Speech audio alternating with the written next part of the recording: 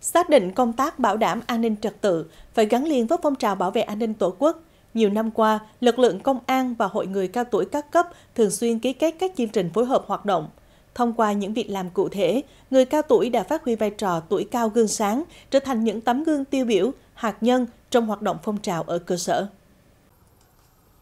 Tuy tuổi đã cao, lại là thương binh, thế nhưng ông Nguyễn Mạnh Hùng vẫn sung phong đi đầu trong việc xây dựng và phát triển phong trào toàn dân bảo vệ an ninh Tổ quốc tại phường Thanh Bình. Địa phương triển khai nhiều mô hình đảm bảo an ninh trật tự.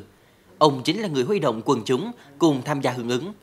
Đặc biệt, mô hình tiếng loa an ninh của ông đã trở thành thương hiệu riêng không chỉ của phường nhà mà còn trên khắp cả nước, được nhiều địa phương trên cả nước học hỏi, nhân rộng.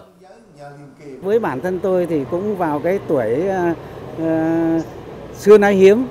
nhưng mà với cái tình cảm, trách nhiệm, với cái phong trào giữ gìn an ninh trật tự của địa phương mà tôi đã góp phần như vậy thì lúc nào tôi cũng thấy là ờ, có một niềm vui, niềm hạnh phúc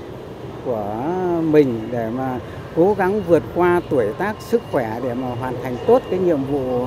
ờ, chính trị mà đảng bộ, chính quyền, nhân dân ờ, của địa phương giao cho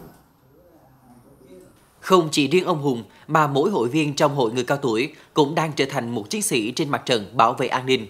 Nhờ có sự gần gũi, sâu sát, họ luôn có mặt kịp thời để hòa giải mâu thuẫn gia đình, là tiếng nói uy tín để giáo dục, cảm hóa thành thiếu niên hư. Hiện nay trong năm 2022, người cao tuổi là có 4 trường hợp đang giúp đỡ 4 trường hợp, trong đó một trường hợp thì đã hoàn thành tái hòa nhập cộng đồng, ờ, còn 3 trường hợp hiện nay cũng đang ờ, giáo dục đỡ và cái ờ, cái có tiến bộ rất là tốt. Thì cái tinh thần nêu cao tinh thần trách nhiệm của các các các bác và đã có được cái những cái sự nhiệt huyết trong cái công việc và phối kết hợp với công an phường đó từng bước giữ vững được cái trật tự an ninh tại địa bàn phường và các bác cũng nêu cao rõ cái tinh thần trách nhiệm của mình và từng đó cái là về cái là cái giáo dục các loại đối tượng mà cũng như cái là về cái giáo dục con cháu tại cái, cái, cái, cái sinh hoạt tại địa phương các bác các chú được nêu cao tinh thần trách nhiệm rất cao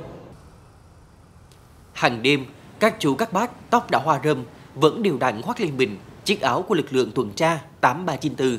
góp sức cùng công an địa phương bảo vệ bình yên cho từng nếp nhà, ngõ phố. Lớp người cao tuổi đã đang và sẽ tiếp tục góp nên những nền móng vững chắc xây dựng một xã hội bình yên.